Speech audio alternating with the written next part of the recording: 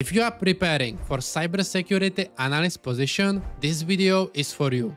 Today we are going to walk through some of the most common and challenging questions you might face during your cyber interview. Plus, I'll give you some tips on how to answer them to impress people in the company and land that job. But before diving into technical questions, many interviews will start with soft skills. I personally ask them when I'm hiring cybersecurity analysts to our SOC team. To me, it's as important as technical skills. And although you might spend more time answering technical details, it's crucial to present yourself as curious, problem-solving person with learning mindset. So let's go through some of them together. First one could be, why are you interested in cybersecurity?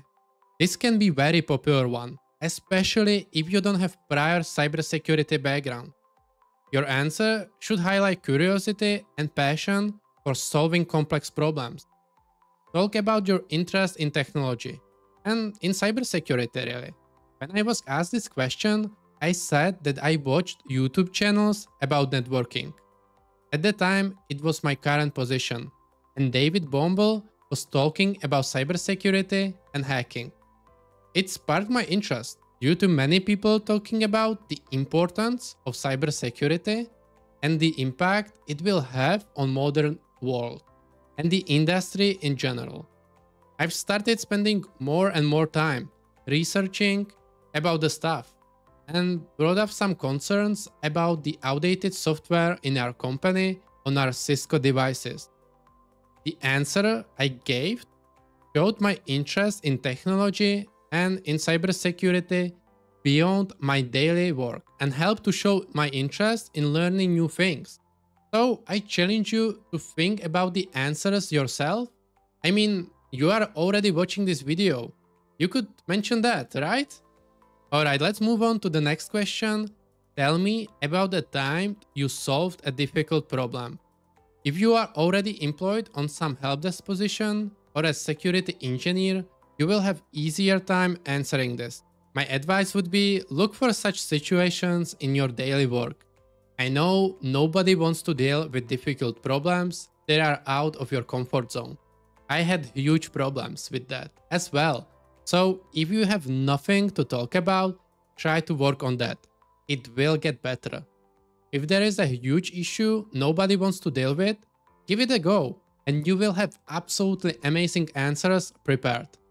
If I go back to my networking positions, I would talk about the time we had to replace a router.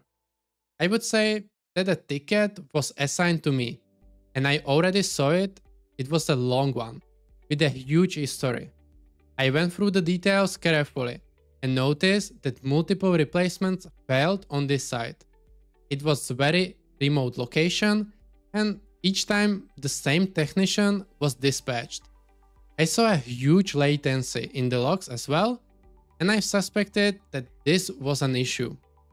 I've called the engineer after he got another replacement router and agreed with him that he will stop on different location before that. He have configured the router without any problems and later he drove it to this site. As he arrived, the router was already configured and we didn't have to deal with the unstable network connection. The dispatch was successful. But at the time, nobody wanted this case. Because there were many problems before, and most people at the job wanted to have a nice and peaceful shift. Okay, there are other questions that might be asked, such as how would you prioritize tasks when you have multiple security incidents, or if there was an instance where you improved a process. I don't want to spend too much time on soft skills, but let me know in the comments if you are interested about more interview question when it comes to this. Okay, let's move on to technical questions. And I'm not going to lie to you, there are tons of them. Since cybersecurity analyst role is not entry-level job. Yes, let me repeat that, it's not entry-level job. Although it might be entry-level in the field of cybersecurity. That means you need to have good overall knowledge from different domains. Systems, networking, cloud, programming, and so on. So For example, if they ask you if you have any programming skills, then your response is, yes, I'm very proficient with Python and PowerShell, and I have created this and that, be prepared for follow-up questions. And this applies to anything you might claim to be knowledgeable in, especially if you have some certifications. Be prepared for this. Don't take it as, well, I have this certification from CompTIA or Cisco, therefore I'm safe from networking questions. Because they will most likely come, and if you fail to answer them, especially if there are some basic concepts, such as what is the difference between public and private IP address, it will be hard to recover from. Personally, this tells me you just passed the certification, but you lack the knowledge. Maybe you just learned the dumps for the exam and cheated. So make sure to be prepared for technical questions, not only from the cybersecurity, but from other domains as well. But let's go back to cybersecurity interview questions. I have prepared few of them for this video specifically, which I was asked on interview or even I use when we looked for cybersecurity analysts. First set of question is all around concepts. What is virus or what is ransomware? But more complex could be, can you explain the difference between virus and the worm? Answer in such scenario could be, both of them are recognized as malicious software or malware, but they operate differently. A virus typically requires a host file or program to spread, and it usually activates when the infected file is executed. In contrast, a worm is self-replicating and can spread across networks without needing a host file or human intervention to propagate. If you answer correctly, be prepared for follow-up question as well. In this case, you could be asked, did you encounter any malware or do you know any malware family? If you are not sure how to answer such question, I would advise you to spend some time on URLhaus or Malpedia, where you can dive deeper into malwares. At the moment, personally, I see a spike in Lumma stealers, and this page is amazing because you can gain so much more information and learn so much more about specific threat. Alright, another follow-up question could be what are some other popular attack vectors besides malware? You could say some common attack vectors include phishing, exploiting vulnerabilities, zero days, insider threats, brute force, and so on. Make sure to explain each vector very shortly and what defenses can be put in place. So, for example, with the phishing attack, you could mention email filtering, employee training, and multi-factor authentication. Another popular set of questions is around cryptography. What is hashing? What is salting? Can you explain the difference between hashing and encryption? The answer in such case could be hashing is one-way process that converts data into a fixed length string of characters typically used to verify data integrity, like password storage. Encryption, on the other hand, is a two-way process used to encode data for confidentiality, which can be decrypted by the intended recipient using a key. There are more, of course, so make sure to get familiar with them.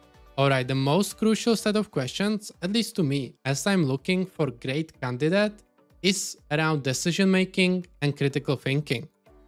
Those kind of questions will not only test your knowledge, but also test how you apply them in day-to-day -day life, in different scenarios really. They are tricky because answers are not straightforward, and it depends on what information is available to you. I will leave some scenarios in this document which will be available to you in the video description. It's a Notion template and you can make a copy if you need to. Okay, the last set of questions could be to test you how well are you keeping up with the latest trends and updates in cybersecurity. This is crucial, especially because threats are evolving rapidly and the industry is constantly changing. So an interviewer might straight up ask you, how do you stay updated on the latest cybersecurity trends? For this, your answer should demonstrate that you are proactively and constantly learning. You could say something like, I stay up to date by following cybersecurity blogs, reading industry reports, or watching YouTube videos. Right? And I'm also active on platforms like LinkedIn and Twitter. Mention whatever you use. And you discuss new threads and share insights on the social media. Personally, I use Reddit, but include whatever is most used for you. I would also advise you to start listening to some cybersecurity podcasts. Personally, I use CyberWire daily, and this helped me to stay updated to latest threats. More questions could be directed towards latest vulnerabilities, or if you heard about any recent data breaches. I like to ask towards the end of the interview about AI. Do you use AI in your work? If so, how? For those kinds of questions, if you stay up to date with the latest stuff, you shouldn't have any problem answering them. So make sure to visit Bleeping Computer website from time to time and make sure to subscribe to my channel for valuable cyber information. Otherwise, that's it. Make sure to check out the document for more interview questions and actually let me know in the comments if you are interested in part 2. Just final recommendation, after the technical interview is over, there will be an opening for you to ask the questions. This is very important part where you can double down on your passion. So make sure to prepare something in advance. It will also help you to decide if this role is right for you. For example, you can ask, what is your approach to ongoing trainings and certifications? What are some of the tools and technologies your security team currently uses? Are there any options for growth opportunities within the company? Ask about the structure of the team, about shifts, about work-life balance. Maybe work from home is important for you, and so on. These questions will not only demonstrate your passion and engagement, but also give you valuable insights into the company. At the end of the day, the interview is not just about the company choosing you, it's also about you choosing the company. Thanks for watching and best of luck with your cybersecurity analyst interview. If you found this video helpful, make sure to like, subscribe, and leave a comment if you would like me to cover any other topics in the future. See you next time.